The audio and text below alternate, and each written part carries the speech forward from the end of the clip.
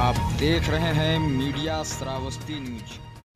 श्रावस्ती जनपद में राप्ती नदी का जलस्तर बढ़ने से नदी के किनारे बसे दर्जनों गाँवों पर खतरा मंडरा रहा है। आपको बता दें, नेपाल में लगातार हो रही बारिश से राप्ती नदी का जलस्तर आए दिन घट बढ़ रहा है। शुक्रवार को राप्ती नदी लक्ष्मणपुर बैराज अपने सामान्य जलस्तर एक सौ सत्ताईस दशमलव दस सेंटीमीटर से 40 सेंटीमीटर खतरे के निशान से ऊपर बह रही थी।